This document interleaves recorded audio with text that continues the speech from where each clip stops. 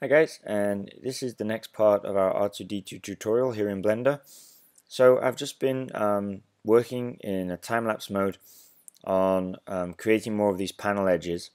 So if we go to our solid view, you'll see now we've got some more of these hard edges put in and they're all been marked as sharp edges as I detailed in the previous tutorial. So that helps us to keep our smooth curved surface but also keep these hard edges on the panel lines. Um, we've also added in some color. I added in another band of color here, the silverish, uh, slightly um, lighter color, which is this band here. Um, and we've added in these panels. So um, I'm going to show you now how we go about doing the panels which, which have these um, curved inside parts. You can see here these these uh, radius corners. So that's these two panels that I've got left to do. Um, I've done one here, which already has one of those radius corners. I'm just going to go through in detail how that's actually done. So we'll go over to our front view again, switch over into material mode, um, and we're going to work on this panel here. So first of all, we're going to select all of the faces within that panel. So we need those also. Um, once we have all of those selected, we want to create a, um, a small raised panel area and then there's going to be a, a recess on the inside. So if we take a look at how the other one here has been formed, you can see we've got the, the panel channel and then a recess on the inside. That's exactly what we're going to do here. So the first um, channel is formed in the same way. We'll hit I. And then we're going, going to want to go around and select the faces inside there.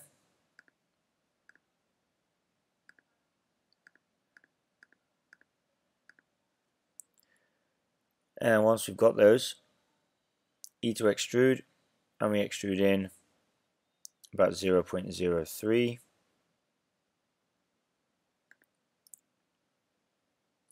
Once we're done with that, go back to our front view.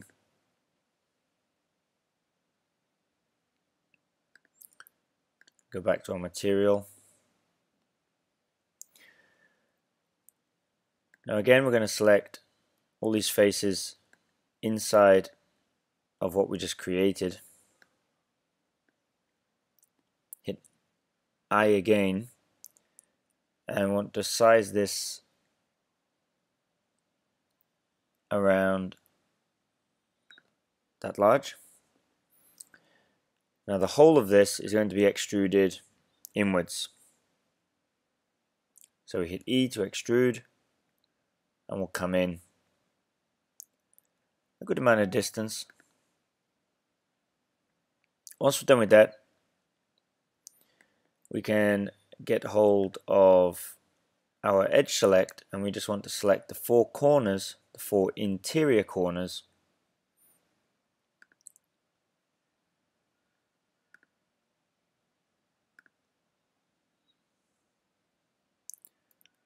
Just grab the wrong one there.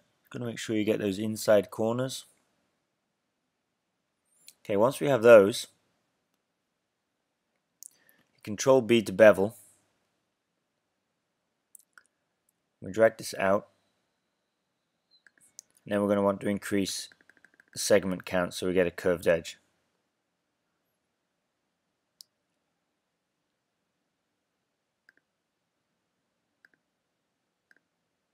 Jump back over into solid object view.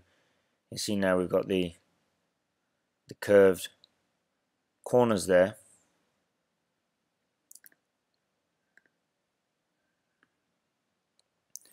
It's being blocked slightly by that uh, edge that we have. So we can actually get rid of that edge if we wanted we can slide it along. So grab that edge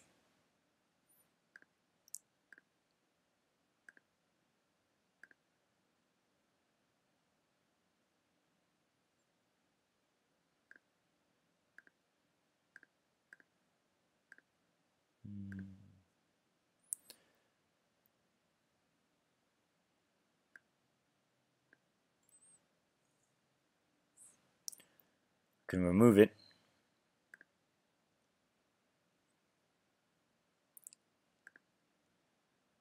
And we can grab these two edges here and we can recreate that face.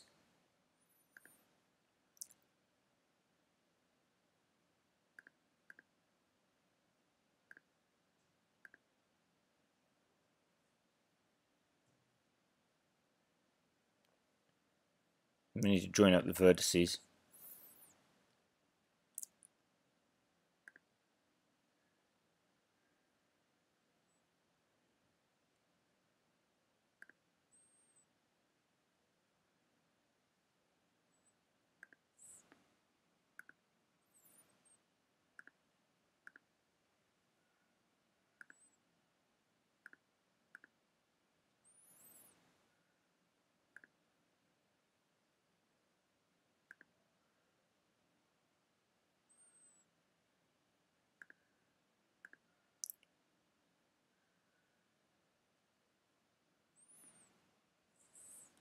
It doesn't quite work. Just go back.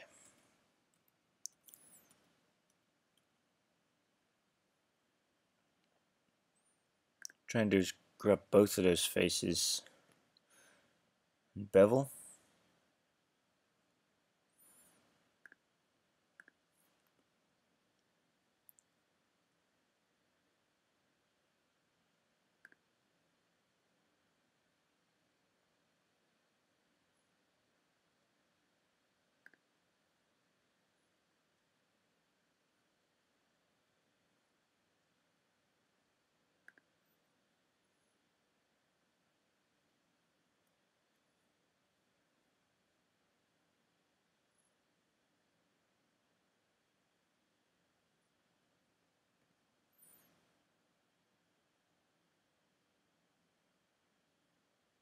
See how it's growing up the one side but not on the other so we'll just keep that slightly lower down there. So that things stay in proportion better. There we go. Now we've got our um, curve that looks more in proportion and even.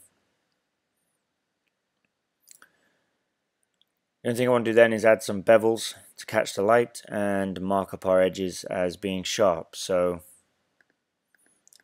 come back here into edit mode. Now we're going to want to select the edges around here.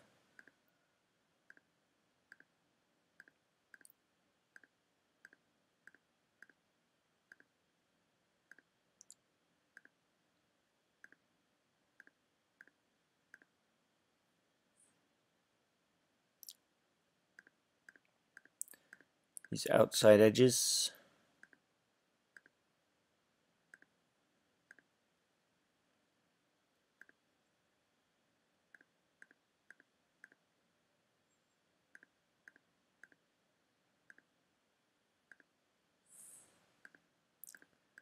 and also these edges here. So we're going to want to give all of these a small bevel so that they'll catch the light and uh, you know nothing really is um, has perfectly sharp corners in reality. So by having a slight bevel to those edges helps to make things look a bit more realistic.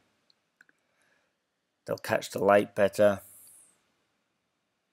When we come to lighting and texturing the model and certainly on closer up views it'll just help to make everything look a little more realistic. Just have to finish selecting all these edges so we we can um, mark them sharp and then we'll bevel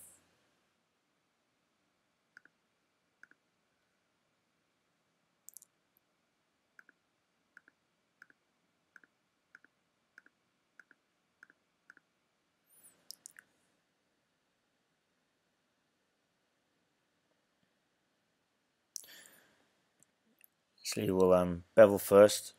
We just want a very small amount, say 0 0.05. Sorry, 0 0.005. We'll go as low as 3.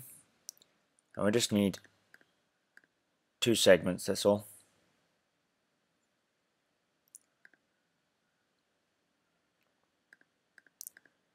And then once we're done with that we have to mark up the edges as sharp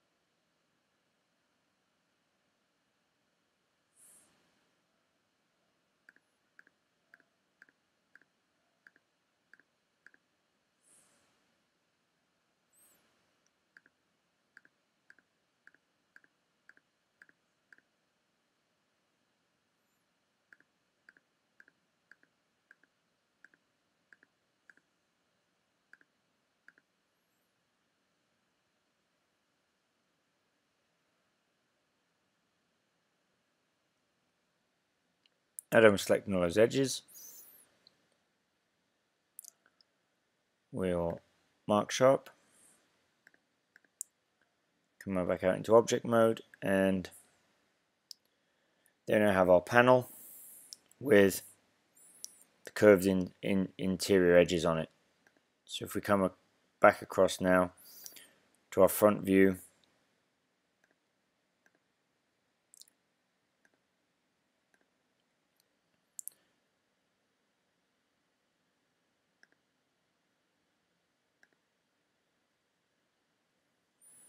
you can see that our panel lines are all starting to match up now with what you can see um, on our reference image.